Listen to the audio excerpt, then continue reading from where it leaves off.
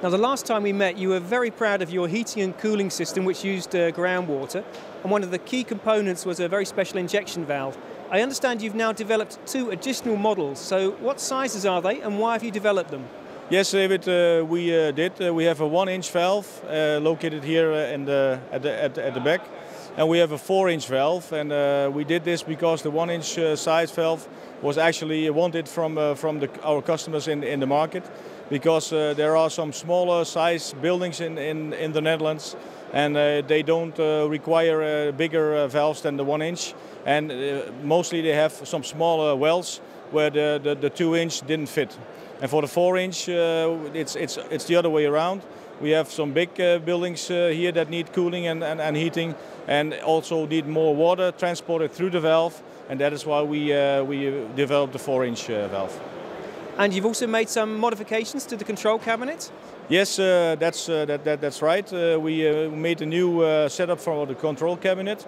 We, uh, we have now the control cabinet controlling on the injection pressure. As you see over my left shoulder, it's, it's the cabinet and it's now one complete unit. We have a, a, a, water tank in there, so we don't need any water pressure from, from third, third, third party.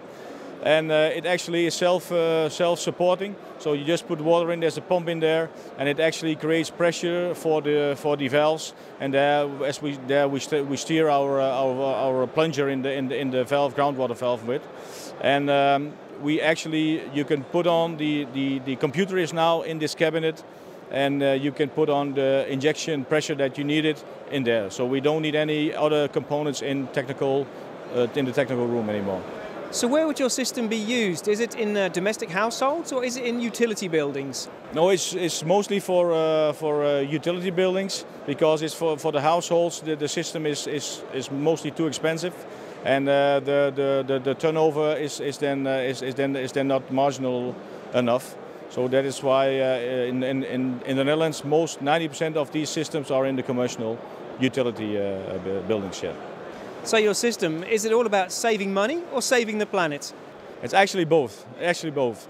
Um, saving uh, saving the money is the, because you you, need, you use groundwater, and groundwater is is, is uh, cost cost efficiency. If you can cool a building with uh, with just uh, using water and nothing else, you know, don't need any other appliances uh, to, uh, to, to that need electrical power.